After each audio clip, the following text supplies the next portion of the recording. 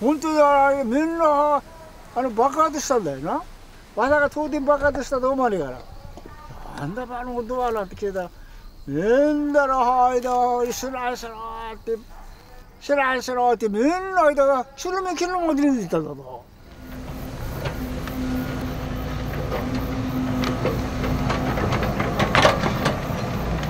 富岡の町あの町長は言わないけどもまだ。でもいずこは富岡町はくなるんじゃねえかなと思うよ。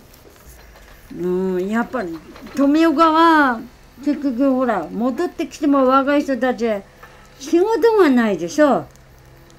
第一仕事はないし子供はやっぱり小さいから不安なんでしょ。うきっと。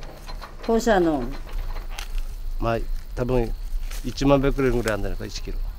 それを確認したいいや女性はややってるけどパフォーマンスだもん環境省が言ったもん。ここに来て俺問い詰めたんだ環境に。やっぱりもう女性は無理ですね。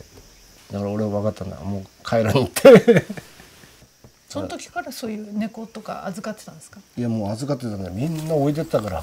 もう最高70匹ぐらい野菜やったよこんにちは俺周りから見たら変わり者だって99%逃げてんのに1%だけ逃げるでいいんだもん。なあいいんだもんな3年な無愛だ、うん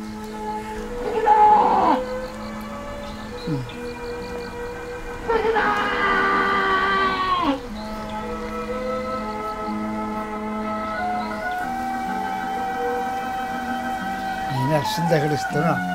あ？